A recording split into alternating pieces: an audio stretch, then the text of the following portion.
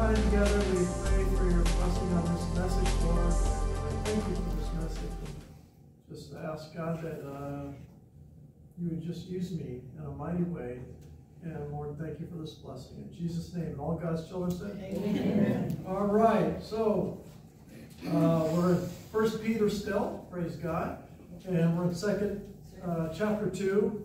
And last week, if you remember, we looked at verses 9 and 10, and um, we saw that in him we were a royal priesthood, a holy nation, his special possession. We are his elected, his living stones. Isn't that wonderful? And we were once a people uh, but, but that didn't know God. And but because of Christ, we've become a people of God, and we have obtained mercy now, being called out of the darkness and into His marvelous light. Who remembers that? Mm-hmm. Yeah. I mean, at one time we did not obtain mercy, but now we get mercy. And we were once living in darkness. Now we are in His marvelous light. Today we will be looking at verses 11 and 12 of chapter 2 of 1 Peter. And this is what it says. Chapter, uh, verse 11.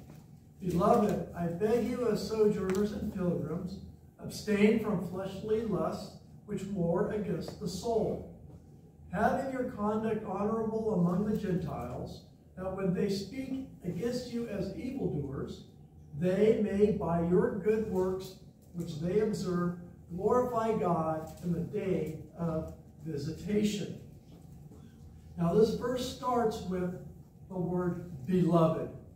Beloved. And I think you guys are going to all love this because I know I did.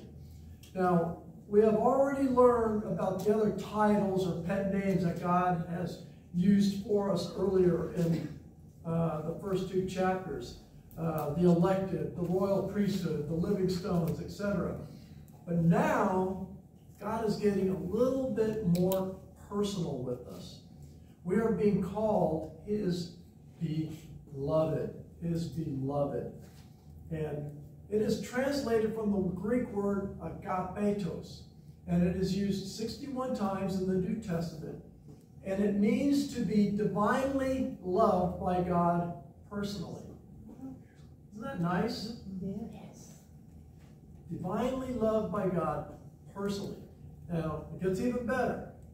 The same word is used in Matthew 3.17 and other places, by the way, when God, speaking of Jesus, says, This is my beloved Son.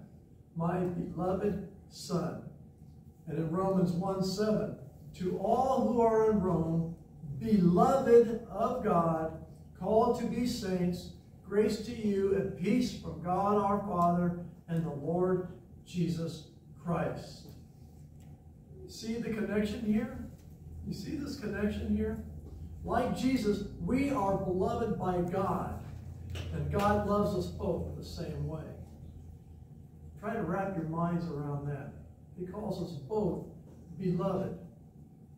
And it's a divine love that we receive by being in a personal relationship with God. And the only way we get in that personal relationship with God is through Jesus Christ. And Peter is reminding these saints here of this truth in their time of uncertainty.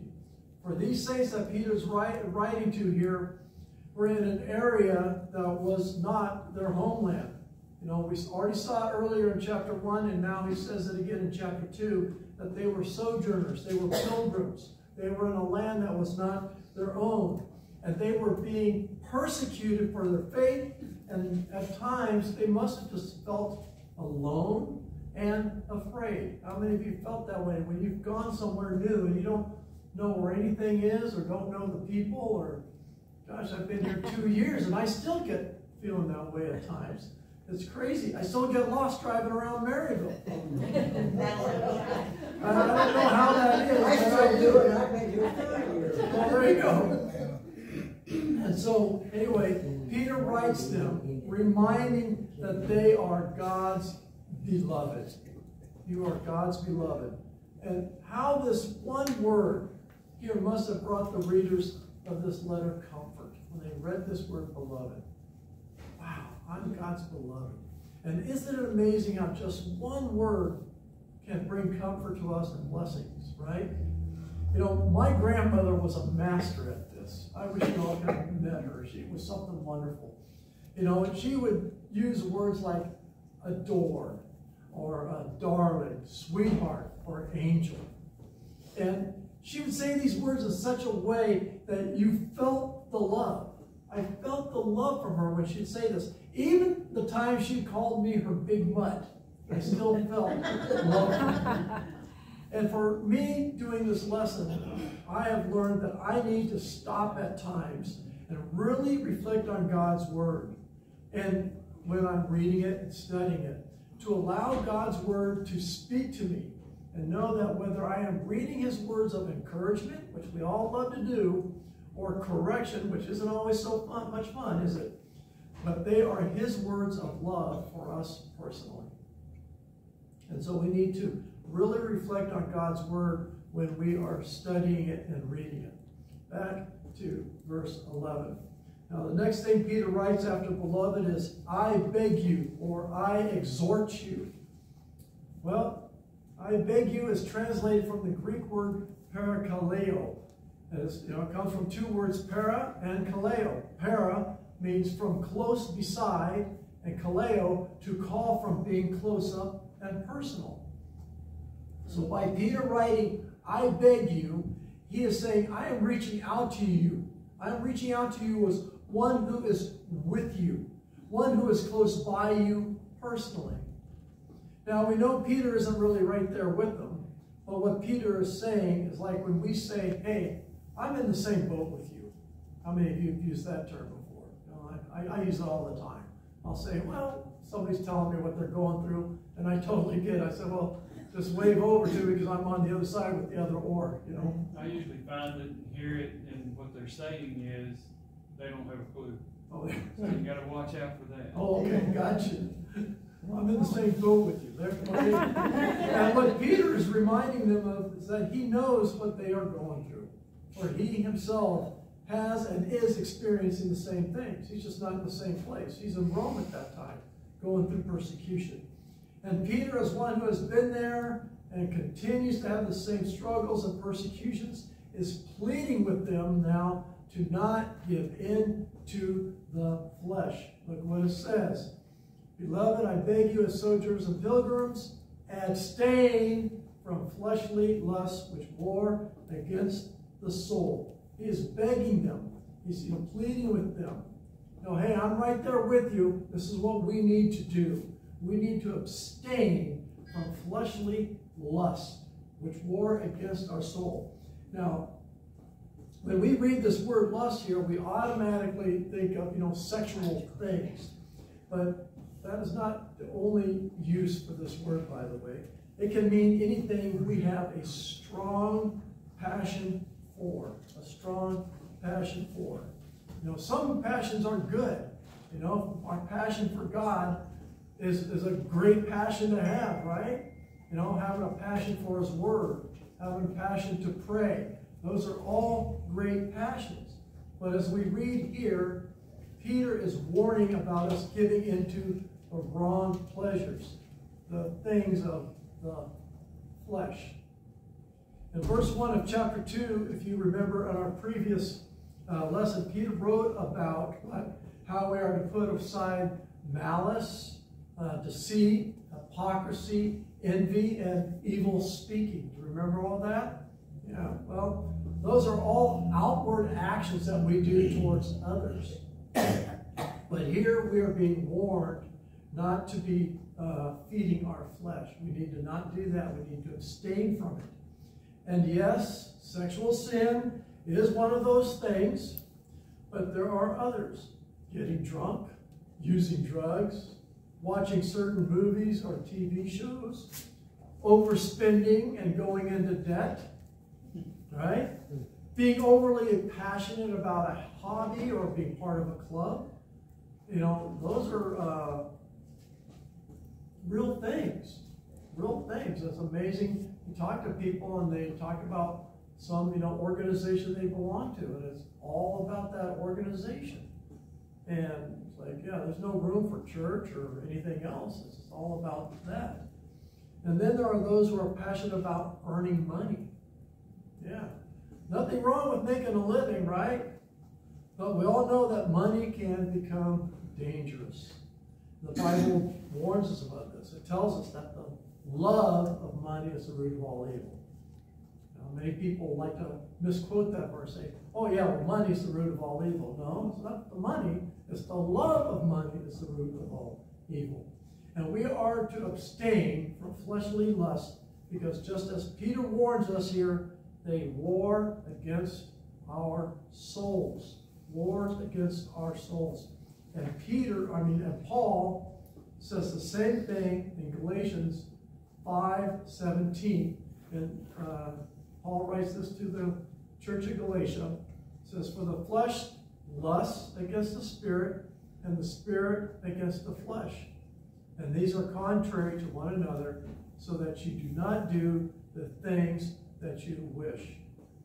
There is a battle going on in us all the time, if we're honest. And when we give into the flesh, we often like to blame it on who? Oh, the devil made me do it. Oh, yeah, the devil. That's an easy cop out, isn't it? I'm saying that the devil's not active at times. But what does it say in the book of James? James tells us that we are tempted when we are drawn away by our own what? Desires or flesh, exactly. You know, I love chocolate. Yes, I do. I love chocolate, and there are times I need to watch that I don't eat a bunch of chocolate, right? And sometimes I abstain and do really good. But other times, my flesh is weak, and it's not the devil, That's a weak it's my example. flesh This last week, uh, they brought in some birthday cake for somebody at work, and they put it in the lunchroom. Oh, David, did you try that cake? It's really good. Okay. and it was really good. Uh, but the good news is we are told in God's word how we can win the war. Look what it says in uh, Romans 13, 14. Clothe yourselves with the Lord Jesus Christ and make no provision for the desires of the flesh. Clothe ourselves with Jesus Christ. And then in 2 Timothy 2.22, well, look at that. Like room 222, who remembers that? TV show? That's a good one. Flee also youthful lusts, but pursue righteousness, faith, love, peace with those who call on the Lord out of a pure heart. Heart. Out of a pure heart. Look what it says here we are to do. We are first to flee. We are to flee these youthful lusts and to pursue righteousness, faith, love, peace. Uh, look at this next word wording here, two words. With Amen. those, with those who call on the Lord out of a pure heart. You know, when we are hanging out with the wrong people, going to the wrong places, uh, it makes it really hard, if not impossible, to flee from the things that war against our souls. But when we are in fellowship with other believers, then we can encourage each other and pursue together the things of God. It's important that we all meet together each week or more than once a week if all possible. Being involved with other Christians so we can um, have accountability to each other. And one of the reasons why is just as it says uh, here in verse 12 at the end, or second next uh, in verse 12 it says having your conduct honorable among the gentiles that when they speak against you as evildoers they may by your good works which they observe glorify god in the day of his visitation according to this verse the non-believers are watching us looking for reasons to discredit our faith to make us out as evil doers. Sounds a lot like what's going on today, doesn't it? Mm-hmm. I mean, boy, somebody does something great, you never hear about that on the news, or about somebody's faith. But I tell you what, how many times when some prominent preacher has fallen from grace, it's all over the news. They can't wait, right? It's sad. It's sad.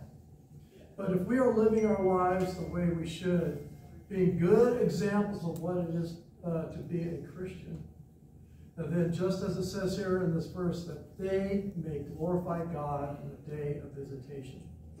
Meaning, if we are being good witnesses of our Christian faith, there will be some. Some will recognize it and realize, oh my gosh,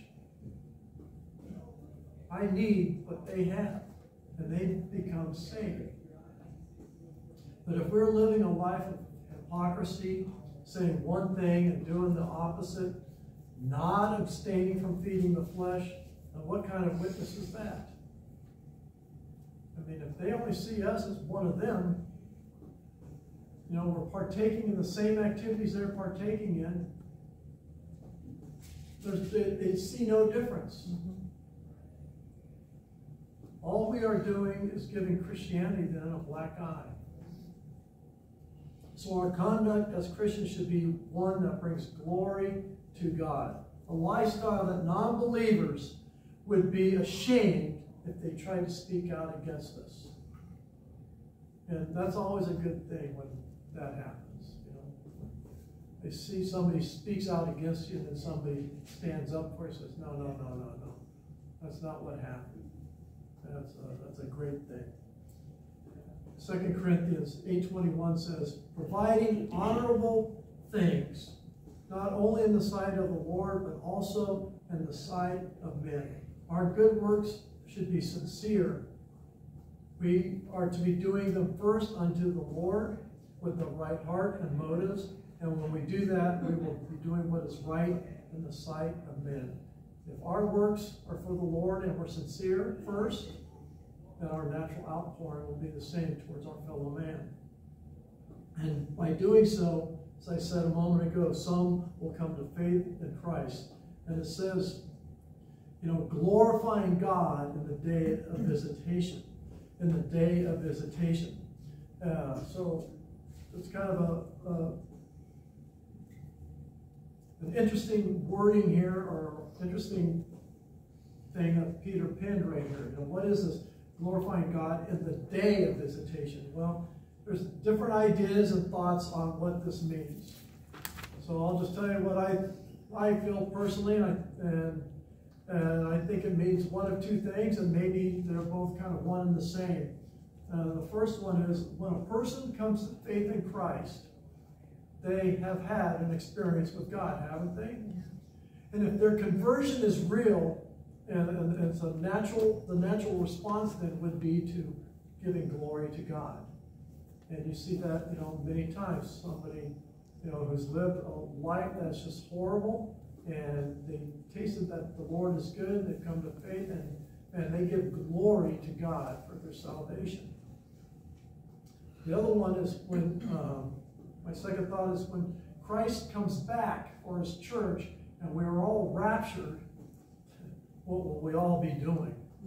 We will all be glorifying God. So if we're living a certain lifestyle and because of our lifestyle somebody comes to faith in Christ, and when they're raptured with us, you know, they're going to be glorifying God with us in that day of visitation. So those are my two thoughts on it. And or like I say, there's others, but you know, I just say this to us all. So, here's that word, beloved. I love this word, beloved, now. Let us abstain from fleshly desires, staying in fellowship, holding each other accountable, encouraging each other as we see the day approaching of the great appearing of our God, our Savior, Jesus Christ. Living honorable so that others want what we have and give their lives to Christ.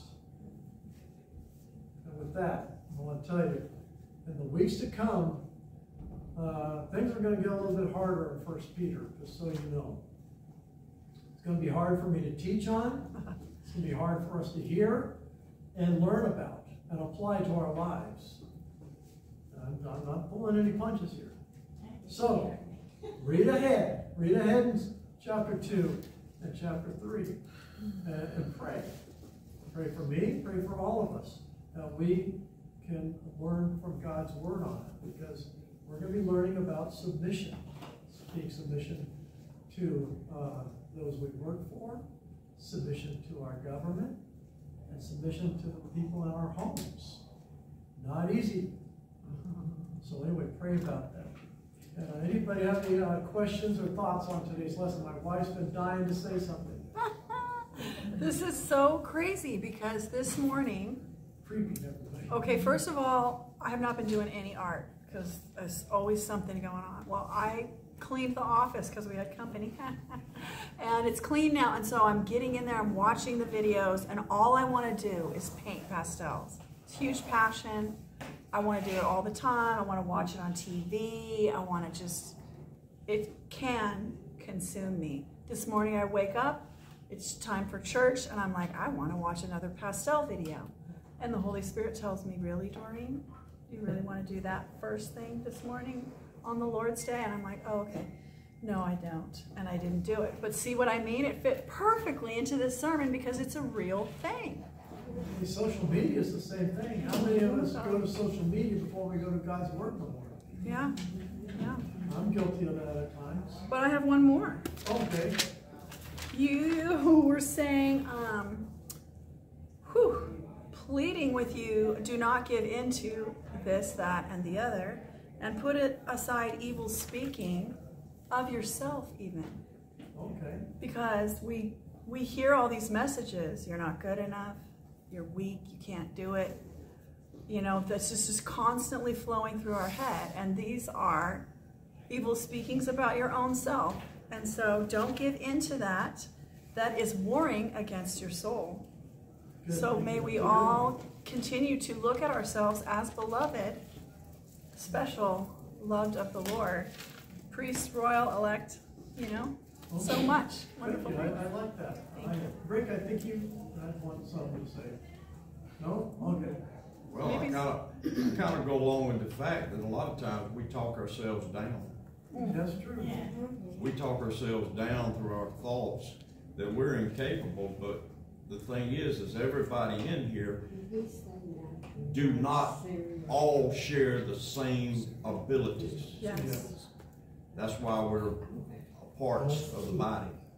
And when part of the body is telling itself it can't do, it can't do, it can't, it can't, you know, you're putting yourself down, you're letting Satan get in the mind.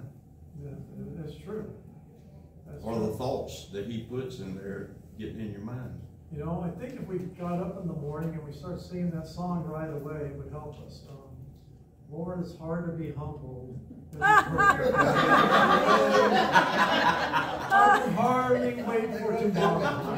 I get better looking each day. Well, uh, Get the harmonica. that might be going a little far. To know me is to love. Other, uh, anybody else other comments? David, I was just looking in my study Bible and it was talking about, it was describing how they slander you as an evildoer.